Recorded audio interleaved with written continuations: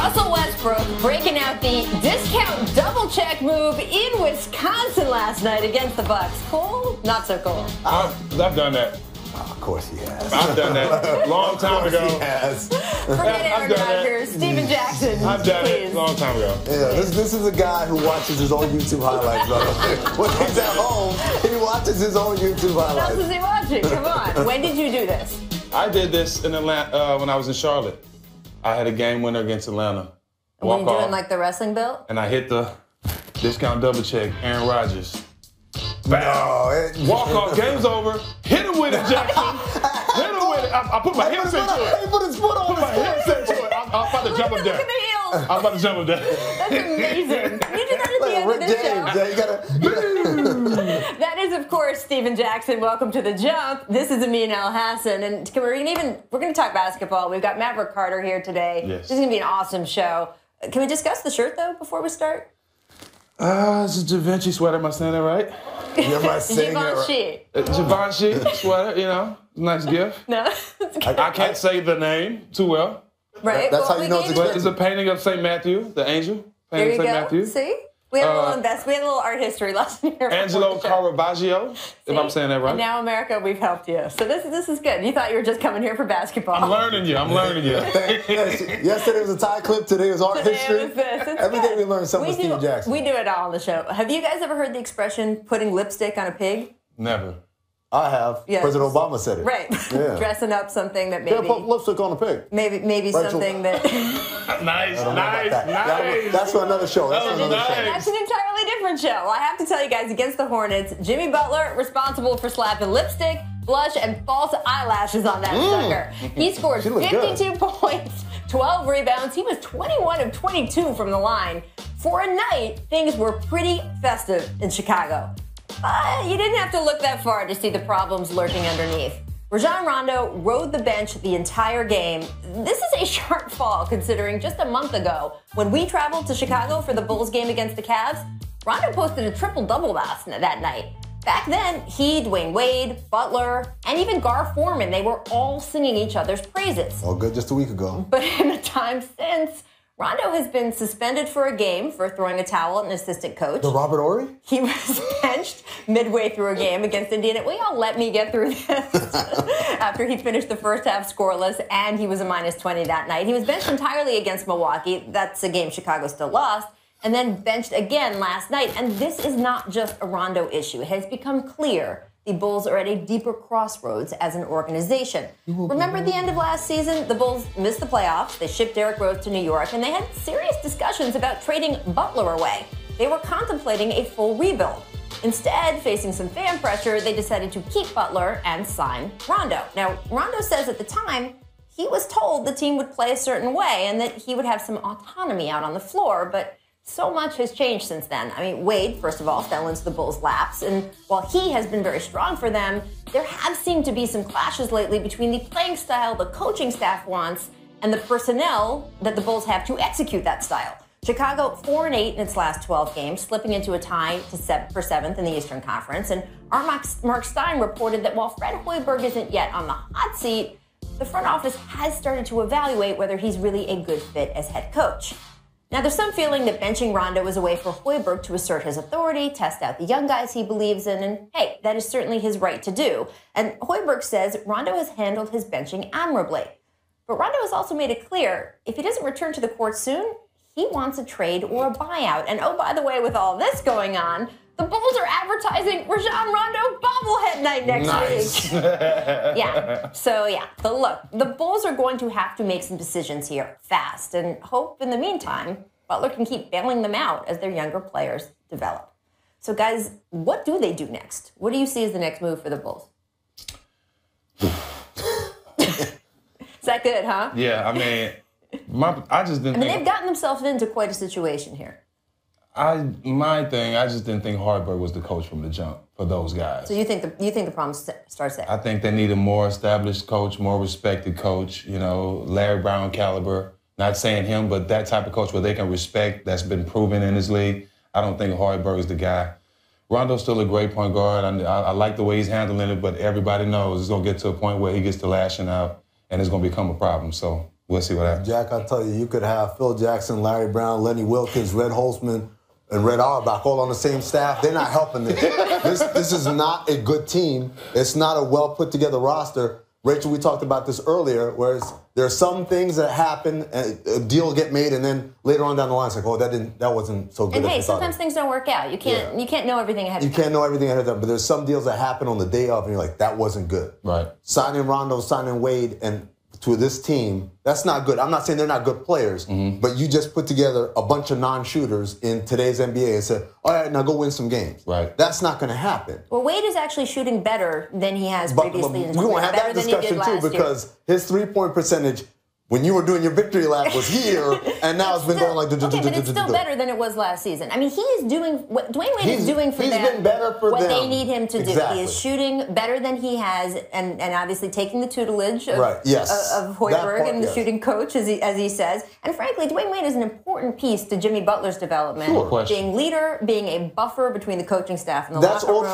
true. But I don't know what they were thinking they were going to do with Rajon Rondo considering he's in some ways given them what they expected from him too. Especially as they say, he says, if I'm going to take him at his word when he says they told me I would have autonomy. Players never come up with quotes like that and make them up. Right. They tell you that that was true. So the Bulls sat there and, and sold this dude a dream about him doing what he wanted on the court. They, and they're having bobblehead night, so obviously they thought he was going to have a great because the marketing department booked that. I tell you, it was a month ago that, that they were, everyone was saying things were going well there. I mean, is this just a case of they didn't expect things to go the way they thought they were going to go? I don't see how they couldn't the have signing.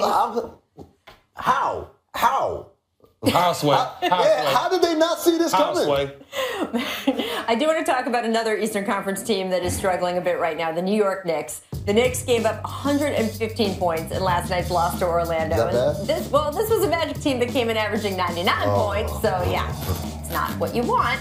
Uh, head coach Jeff Hornacek feeling, well, a bit lost afterward. He said his players were trying, but that maybe, quote, they're just not capable of playing defense. Oh. Then he said, we have to find somebody who can play some defense. Oh. I don't know if he's going down to the bodega. Great. I mean, look, the Knicks have lost. Get Miro in there. Can Miro play defense? The Knicks have lost five straight. Melo's shooting 36% during that streak. I mean, who who here is to blame for the Knicks' struggles? What do you think, Steve?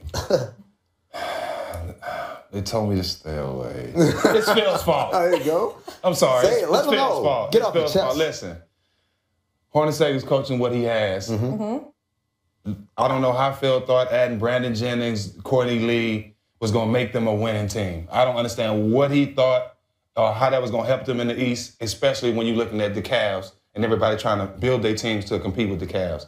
He was not thinking that. I think he was trying to build a college team and bring the Knicks to the college level because he did not make that team better, and they're not going to win with that To team. be I fair, blame Phil. I blame to be Phil. fair, he put defensive mastermind Kurt Rambis in charge of the defense, I'm and I'm shocked. I'm the one I'm shocked I'm that sensing things some haven't sar- changed yet. sarcasm here. I mean, Yeah, I'm, I'm with Zach. It, it's Phil Jackson's fault. I can't blame Jeff Hornacek for not being able to make chicken salad out of watch it. whatever. that- Yeah, whatever they put together. I can't even blame. I know a lot of people want to blame Carmelo, but this isn't a Carmelo thing. Even though I love this play right here. Even though he's 35 for 100, Since no, why why'd you bring that up, I'm man? just, it's true. We, we have some We we, have- have some video right Yeah, of this- Melo recently. This is this is awesome. I love this. this is when you just give up on the play before you even you know what's gonna happen. But but Jeff's like, yeah, I'm going back to the bench. yeah. Even so, Look not, at that. it's not Come of these guys' I'm fault the defense isn't good. The defense isn't good because they don't have defensive personnel. Because their main defensive signing of the offseason was a dude with one leg, Joakim Noah. And that's again what we talked about, Rachel. They're deals that down the line are like, oh yeah, that didn't work out. And they're deals that on the day it happened, like, that's not gonna work out. Phil said he knew Joakim Noah was healthy because he made him do a pull-up.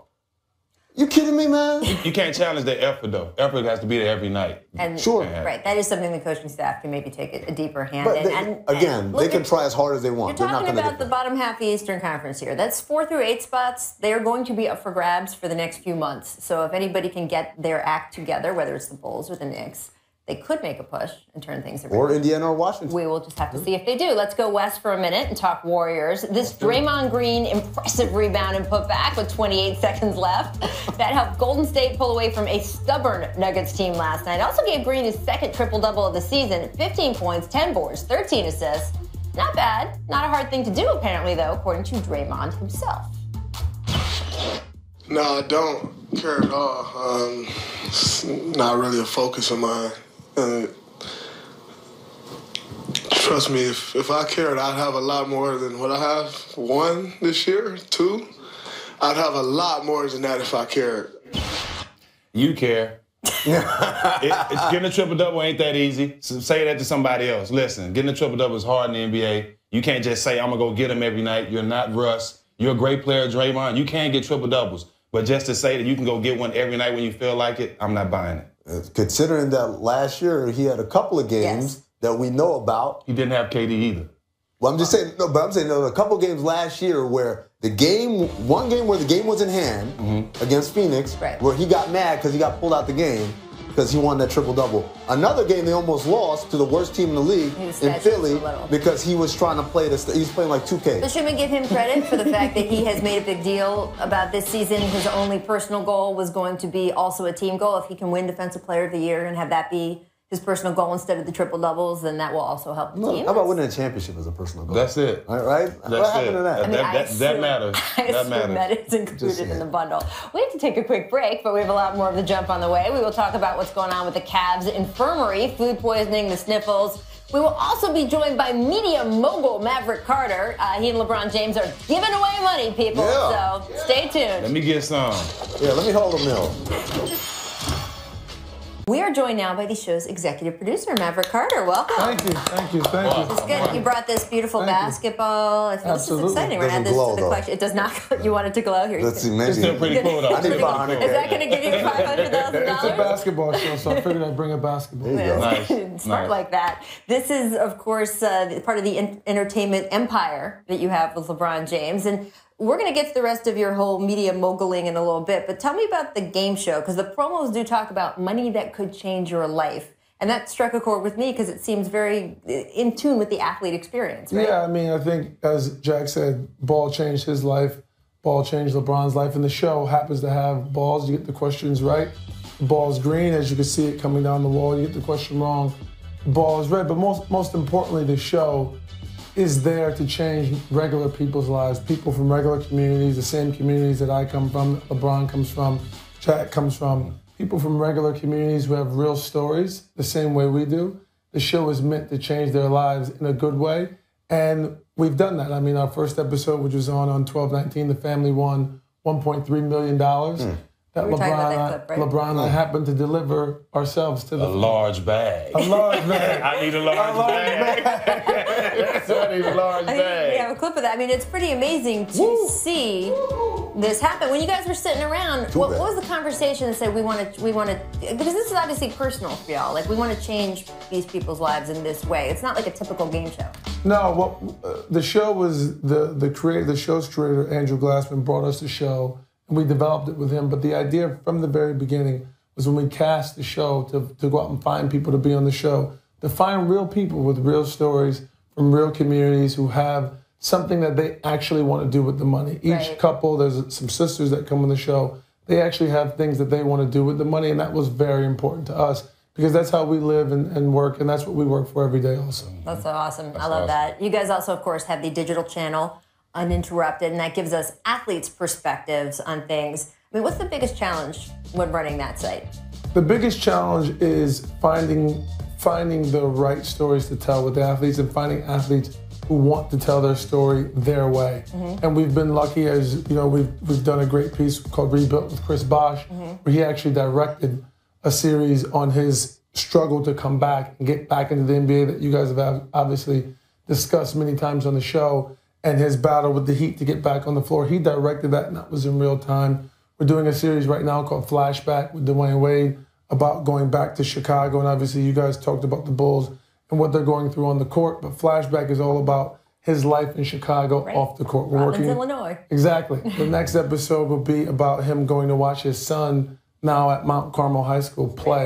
Amazing. which is going to be amazing. I was just Sure. looking at it this morning. That's very cool. I mean, we, we've talked about this for months in the pa- you know about the idea that this is a great compliment, right, to the media that we do, the regular. Yeah, absolutely. You know, when you talk about, uh, I mean, these are stories that we would not know otherwise, right? Sometimes it's because an athlete isn't comfortable opening up in a scrum talking about these things. Sometimes it's because they don't have enough time, right? Right. In sound bites, this gives us a nice kind of little chunk of time for guys to talk about. By the way, I got to say this: one of my favorite shows, Survivor's Remorse, man. Thank you. I love that appreciate show, that. man. I Thank love that show. I won't lie. When I first heard you guys were doing a show about that, I was like, it's gonna be corny. They're gonna whitewash a lot of stuff. They, no, I'm, look, I'm being real. I'm being real with you. I thought, I I said I thought, wasn't going to cuss. I thought, I thought, I thought it was. It's cable Bro, TV. You You guys did a great job of capturing so much of the basketball experience that a lot of fans don't know about. The stuff with trying to pick the sneaker deal, the stuff where you're talking about, you know, some of the PR flub that he had when he, he said something uh, out loud and trying to clean it up. All that stuff was so accurate. I really love that show, man. And and you know it. I'm not here just blowing smoke. Right. Well, clearly from the way you started that Thank sentence. you. I, mean, really appreciate that. And the, the, the purpose of that show, and, and I'm glad you said the word corny because that's a word, as Jack, that gets under my skin. Like if someone says something I did was corny, then we did the wrong thing. And the idea behind that show was to tell authentic stories Right. that come from that world. Some of the stories come from my life, some of the stories come from LeBron's life, stories Jack can relate to, other athletes can relate to. And we wanted to tell real stories that real people could relate to. And it's really a family show. Yeah. Basketball happens to be the backdrop, Mm-hmm. but as Jack knows, when you play basketball, family is really what it's about. Basketball just happens to be the engine and the fuel that allows the family to live and do all the things that they do. And that's everything we do at SpringHill. We want it authentic. We want people like yourself to watch it and go, Jack to watch it, Rachel go, that's real. That's something I can really relate to.